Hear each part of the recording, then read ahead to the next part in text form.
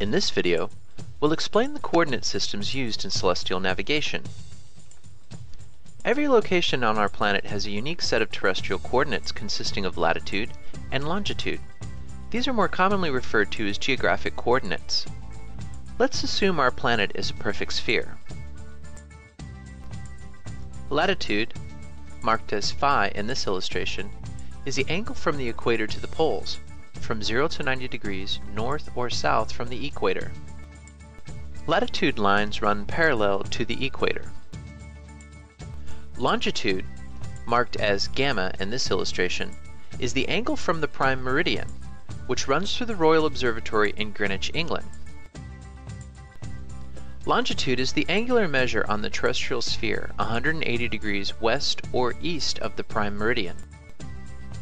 Latitude and longitude are both measured in degrees, arc minutes, and arc seconds, where 1 degree equals 60 arc minutes and 1 arc minute equals 60 arc seconds.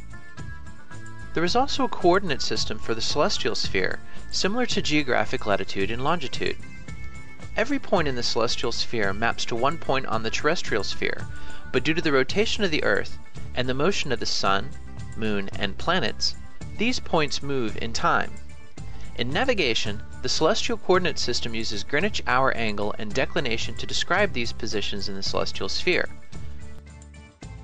There is a celestial equator which maps to the equator of the Earth. There is also a Greenwich celestial meridian which maps to the terrestrial prime meridian. Greenwich hour angle, abbreviated GHA, is an angular measure along the celestial equator westward from the Greenwich celestial meridian, similar to longitude. Declination, abbreviated DEC, is an angular measure north or south from the celestial equator, similar to latitude. GHA can be measured in degrees or in time, where 24 hours equals 360 degrees, hence the term hour angle. In navigation, both GHA and declination are measured in degrees, arc minutes, and arc seconds. At any given moment, every celestial body may be mapped to the Earth, as there is one point in the terrestrial sphere where the celestial body lies directly overhead. This is called the celestial body's geographic position, or GP. If you were standing at the geographic position, the celestial body would be directly overhead, known as the zenith. Measured from any point on the horizon, the angle of this celestial body would be 90 degrees. Astronavigation allows for determining your geographic position by measuring the angle from the local horizon to the celestial body and determining a line of position, which is actually a circle on the terrestrial sphere. Locally, however, these circles can be treated as straight lines.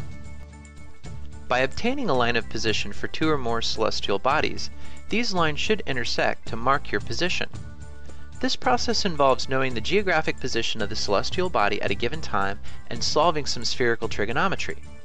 By using publications produced by the US Navy and their UK partners, spherical trig calculations are replaced by tables, and this process is greatly simplified.